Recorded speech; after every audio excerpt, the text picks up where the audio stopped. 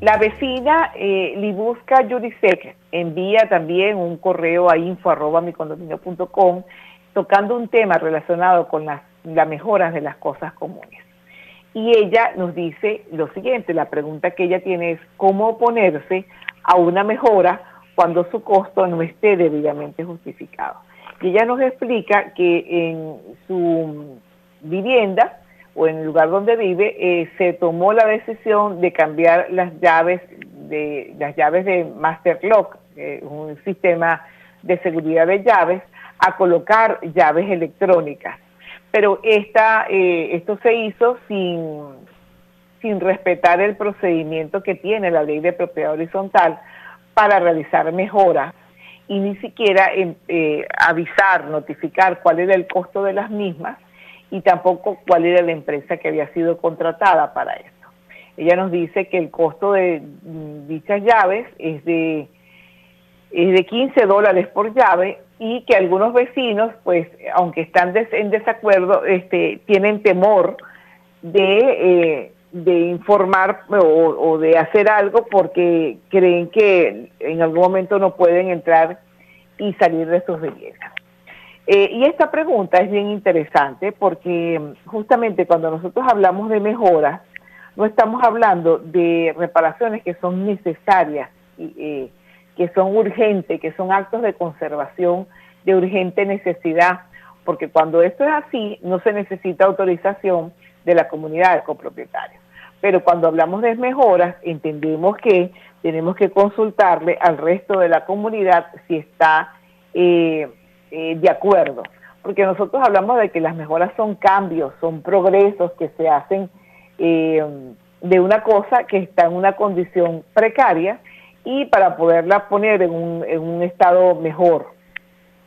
Eso es una mejora, o sea, es una sustitución, es algo que no es que está totalmente eh, averiado, sino que pudiéramos hacer algo diferente. Esto puede ser una mejora, una mejora puede ser el cambio de un piso, eh, un cambio de fachada, eh, cuando esta no está eh, cayéndose y puede causar un peligro en alguno de las viviendas, sino que un cambio de fachada porque queremos, por ejemplo, colocar, entablillar la fachada del edificio. Entonces, en estos casos, el artículo 9 de la Ley de Propiedad Horizontal señala que las mejoras de las cosas comunes solamente se pueden efectuar cuando existe un 75% de los propietarios que están de acuerdo con ellas.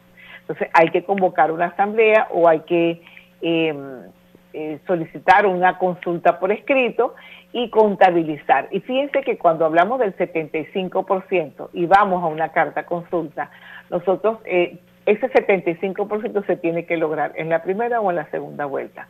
No aplicaría en este caso que la primera vuelta si no se consigue el 75%, en la segunda se hace con las personas con las con las mm, personas que respondan. En este caso hay que lograr el 75%. Y si no se logra, sencillamente el trabajo no puede hacerse. Ahora, ¿qué debe hacer una vecina cuando esas mejoras eh, no corresponden o cuando no el costo no está debidamente justificado? ¿Qué puede solicitar a la autoridad judicial? Él puede intentar una acción, en este caso una obligación de hacer, eh, o, una obligación de no hacer para impedir que esa mejora se efectúe. Y se pide una medida judicial que paralice o prohíba mediante una, una, mm, eh, una, una eh, que, que paralice o prohíba la continuación de esta, de esta situación. si se trata de obras, la, la acción sería el interdicto de obra nueva eh, que hay que construir, destruir, paralizar. Ahora, en este cambio, en este cambio de cerradura, yo creo que pudiera irse o bien por la vía de la obligación de no hacer, cuando ya lo están haciendo, pidiendo una medida mm, cautelativa, prohibitiva de seguir haciendo el cambio, eh, mientras ellos recogen el dinero, o también un, interdicto de obra nueva.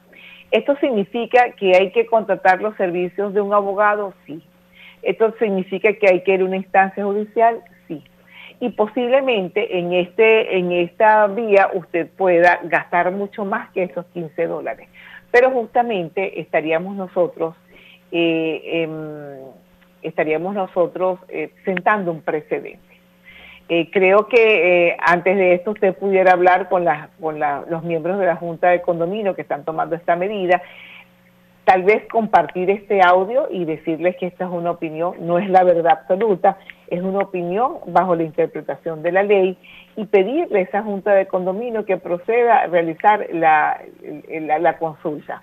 Si de los resultados de esa consulta eh, los vecinos están de acuerdo en realizar esa sustitución, estupendo, pero denle la oportunidad de saber cuánto es el precio, quién es la empresa que va a realizar el cambio, eh, cuántas alternativas hay y háganlo de la mejor manera. Yo entiendo que a veces la Junta de Condominio tiene que eh, eh, proceder, eh, proceder a actuar de esta manera porque no les dan opción, porque muchas veces las personas no participan, pero es importante hacerlo así sea por la vía de la consulta por escrito.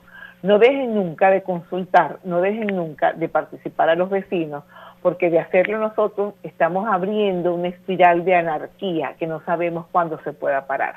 Entonces, cuando vuelva otra junta de condominio, va a ser lo que a él también le parezca, lo que, el criterio que puedan tener esos miembros, y eso va a ser una bola este, permanente que no, que no vamos a tener como atajar.